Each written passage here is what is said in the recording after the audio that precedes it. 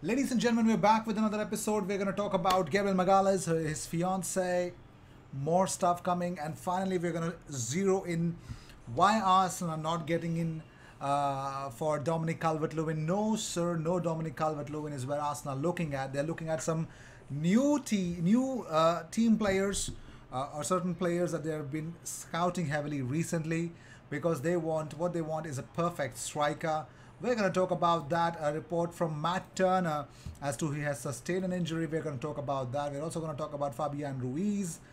We're going to talk about a lot of lot of targets. So Antony to Arsenal, ladies and gentlemen. Yes, we're going to talk about that as well. You saw the thumbnail.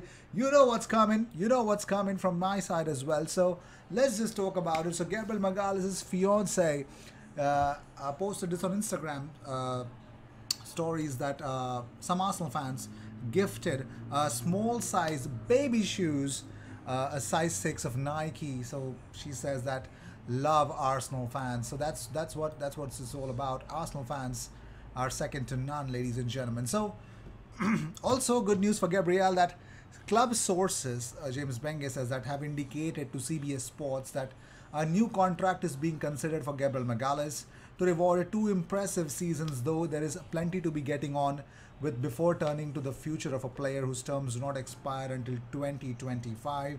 But Arsenal are considering to give a new contract for Gabriel Magalhaes. Let me know in the comments, does Gabriel Magalhaes deserve a new contract? Should we wait for this season to end or probably another season or probably give him a new contract in the new season or during in the middle of the next uh, uh, you know season let me know what you guys think about it. Does Gabriel Magalhaes deserve a new contract? I will be wanting to know more. Moving on, Arsenal want a striker. This is a report from James Benge that Arsenal want a striker with extensive experience at the highest level and fits with the age profile of the current squad. Though they took several calculated risks in their signings last summer, they were ac- acutely aware there will be less room to gamble on potential. Well, Jonathan David, Dominic Calvert Lewin, and Alex Isak are three strikers in whom Arsenal have long held an interest. Meanwhile, sources have told CBS Sports that they have also been undertaking extensive scouting of Victor Osimhen and Lautaro Martinez.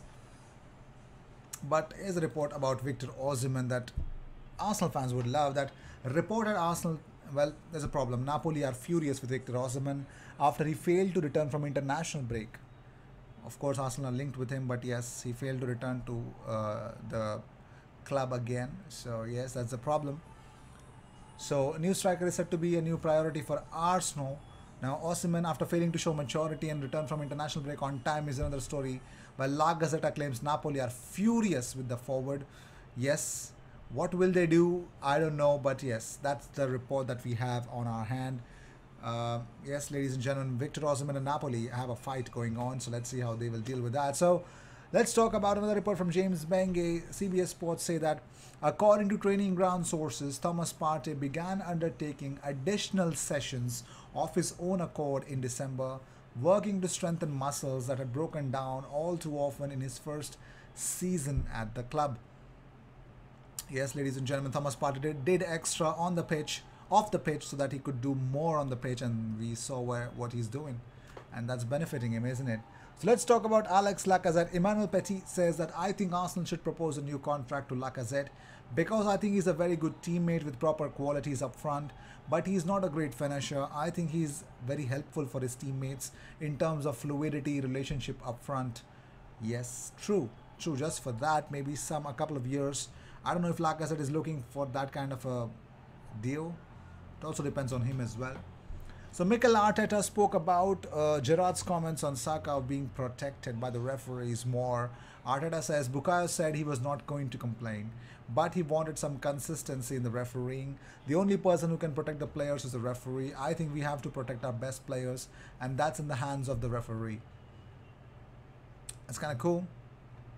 That's really kind of cool, but Let's talk about more stuff. There's an update from Matt Turner. You remember this guy, Arsenal signed him, uh, you know, to replace Bernd Leno if he leaves. So Matt Turner has a message. He says, I always try to be candid and candid and uh, honest with the media, as you all know. and I hate having to even do this. I gave an interview yesterday and my words have been pulled around to fit certain narratives. So I'd like to set the record straight. The USMNT game in Minnesota has nothing to do with what's kept me off the field these last few weeks. I had a brief uh, bout of tendonitis after that game in my left foot that was quickly resolved and back to 100%. After that, I resumed preseason with the revolution and training before playing in the final friendly of preseason. Early on in that game, a reckless, unnecessary preseason sliding challenge came in, which left me a hairline fracture in my right foot. Two different injuries on two different feet completely unrelated my rehab is going well i am hopeful i will be clear to return to training again very soon and i can put this chapter behind me and get back to doing what i love every single day so he did not skip it bro he was injured so get your facts straight is what he wants to say in a very polite manner. So guess who's back at training? Bukayo Saka is back in training, ladies and gentlemen, after being, of course, you know, positive for the virus. But more importantly, Aaron Ramsdale is back. We do not have any update about Tomiyasu yet, but yes, Aaron Ramsdale is back to training, and yes, he's training ahead of Arsenal's next game against Crystal Palace. Don't get me wrong, it's a very tough game last time around. You know what happened? Sambi Lokonga. Uh, yes, ladies and gentlemen, so it was a very fun, very difficult game for us. So let's see how Arsenal fare now. So Arsenal, this uh, the boy, the his name is Khayon Edwards. So Arsenal are hopeful that he signs a professional contract with the club. Leipzig, Berlin, Hertha Berlin, and Feyenoord have all been linked, and so he's been expected to sign a new deal. Let's see if he does or not. Miguel Arteta speaks of Cedric Soares. He says when he needed to talk, talk on the pitch. Don't talk on the microphone because here is very easy to talk. So yes, ladies and gentlemen. So it's kind of cool. But let's talk about William Saliba. Saliba finally says, Arsenal are often in contact with my agent and send me messages. They watch my matches. They tell me to continue like this. Arteta made his choices. That's life. I left on loan, played more matches, and thanks to my performances, I became an international. I'm sure I, ju- I can't just be on the bench at Arsenal and be happy. I want to play as a starter. Afterwards, if I enter into the rotation as a substitute, it's not like staying with under 23s and never being in the squad. So what Saliba wants is either a rotational player. That's how you play FIFA, bro. Saliba is only going to extend if he's not going to be either a rotational player. He wants to establish himself as a starter. So yes, ladies and gentlemen, Saliba has made his mark and he's made his point, and I think it's a well-made point.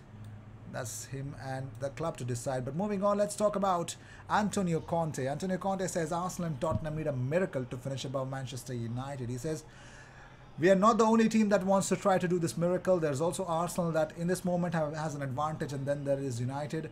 And this season it depends on United. I think I think United folded, to be real with you. But let's talk about Kieran Tierney, ladies and gentlemen. So Tierney has opened up about the Real Madrid news.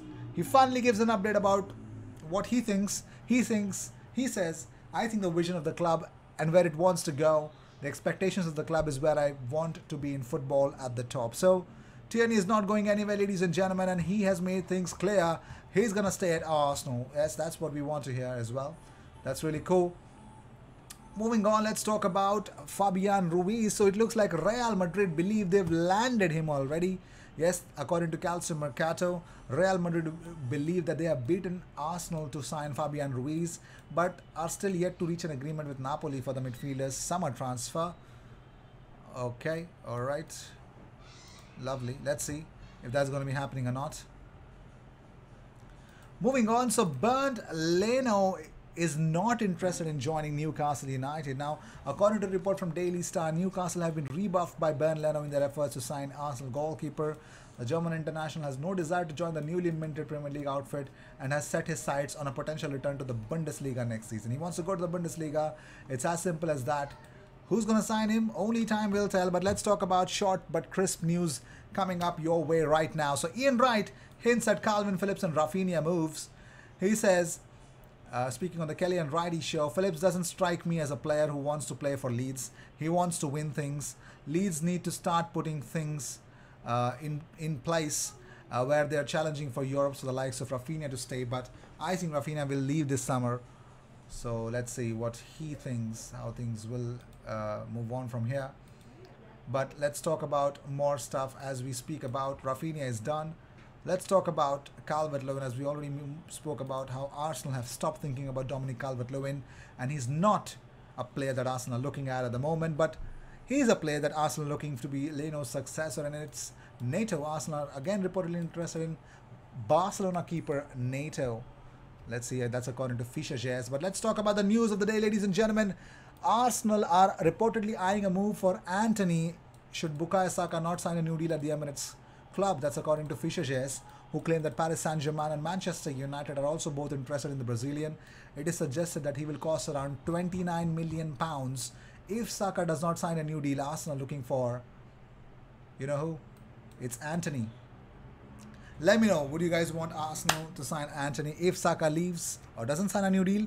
Let me know what you guys think about it. I'll see you in the next one. Until then, cheers and don't forget to subscribe.